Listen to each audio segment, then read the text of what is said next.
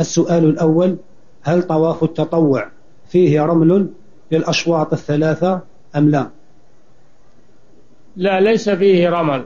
الرمل هذا خاص بطواف القدوم الحج وبطواف العمرة. الرمل وهو الإسراع في المشي في الأشواط الثلاثة الأولى هذا خاص بطواف القدوم بالنسبة للحاج. وبطواف العمرة بالنسبة للمعتمر. أما طواف الإفاضة وطواف الوداع وطواف التطوع فليس فيهم فليس فيها رمل وإنما يمشي فيها على عادته. نعم.